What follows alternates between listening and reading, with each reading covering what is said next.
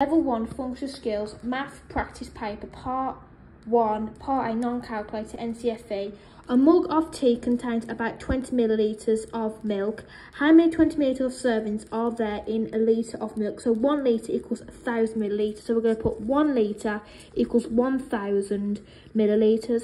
So if we do 20, 20, 20, 5 times, that will be 100 millilitres. So the answer can be 50 servings because you just times it by 10. So 50 times 10 is 50. Then next question is, 5 kilograms of sugar costs £3.20 and contains a 1,000 teaspoons of sugar. How much in pence does one teaspoon of sugar cost? So £3.20 divided by 1,000 is 3. So when you divide by 1,000, the decimal point moves 3 places to the left. So it's, gonna, so it's just going to be 0 0.32, technically, 32 pence. Next one. Let's get it up. Next one. So I've got mixture of pages. Right, this one. Milk costs 50 pence per litre. For each mug of tea, Mel uses.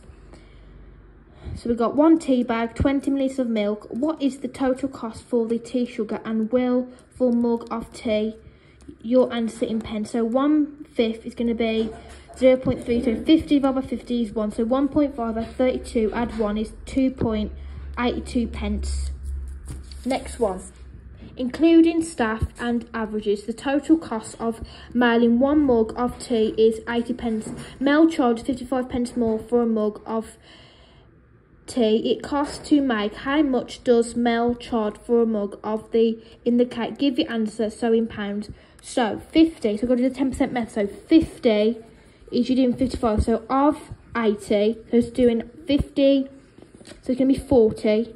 Then if you do 10, so you're technically doing 80 divided by 10 equals 8. Because when you divide by 10, you just knock off a 0. So 5% of 80 is 4p. So if we do 44, add uh, 80p, I think, that's 124. So the answer is going to be 124 divided by 100 is 1.24 because one pound is equivalent to 100 pennies.